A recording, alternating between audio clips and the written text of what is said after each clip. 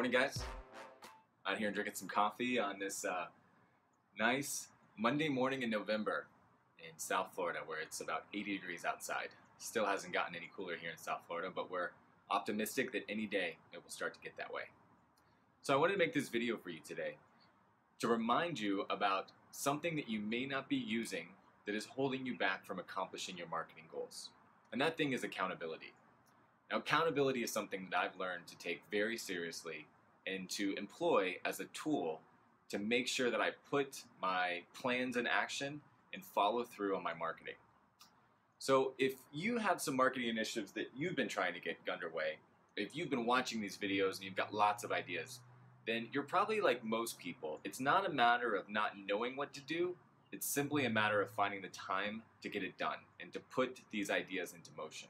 So, I think we can all relate to that in any in businesses of any size, especially a small business where the urgent is always crowding out the important, right?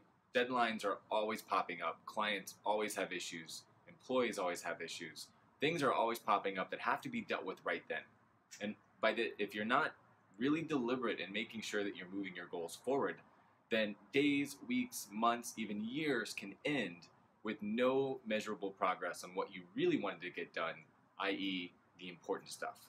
And so that's where accountability, especially public accountability, uh, with your peers, with your team, uh, with people outside of your company, with a coach, uh, it doesn't matter who it is, it can even be your significant other or a friend, can really be the difference between letting a week go by without getting anything done on your important goals and actually chipping away every single day and every single week and actually moving your company forward. So I have a number of personal accountability objectives in place or initiatives in place. I am part of a peer mentoring group. Uh, it's part of the EO Accelerator program. So every single month, I'm meeting with five other business owners, and I'm re- they're really pushing me hard to define where I want to be one month from that meeting. And this is where it's really important to have somebody that you trust and who knows what you're trying to do, because just having a goal or just having a an accountability measure for the next month in and of itself isn't going to help you if you're not picking the right things to move your marketing forward. So that group really pushes me and makes sure that I'm setting the right goals for the next month. And then I have to go there and publicly let them know whether I accomplished my work or not, right? And so that that measure of having to stand up in front of your peers and tell them what you've done is very powerful because I can assure you that I get a lot more done in the week leading up to that meeting, knowing that I've got to be accountable and report on my progress than I would if I just didn't have that meeting. Because it's not like that meeting or the couple weeks before the, the meeting are any different than they would be if that meeting was there or not, right? There's still important issues popping up every single day. There's still too much to do in any, any given day.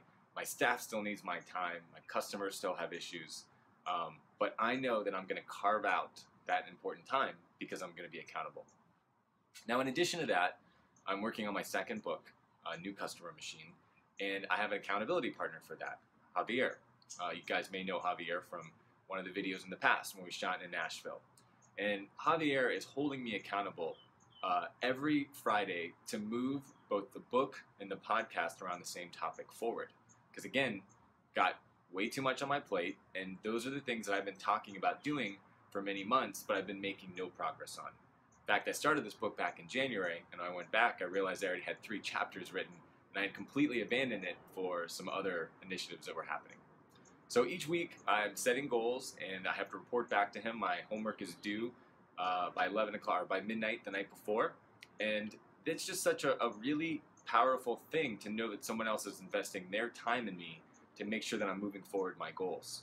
And so I owe it to him, and I owe it to myself to make sure that I have my accountability homework done. So these are two things that I've self-imposed on myself to move the marketing forward for the company. And if you find that there's never enough time in, in the day to get marketing done, if you're not able to make marketing a habit, like I talk about so much in these videos, then you're not getting the important stuff done. And you're only working on the urgent. And if you only work on the urgent, then you're going to be in the same place you are today, six months, and even six years from now. So ask yourself how you can use accountability to move your goals forward. I'm sure there are people in your life that would love to help you with this. It may not even cost you anything, or you may want to go with a professional route and actually get a coach who would really make sure that, that you're moving the ball forward because a coach is going to be, be able to give you impartial advice. They're professional, they do this all the time. And they're going to know when you're doing the right things and when you're not. So, hope that helps.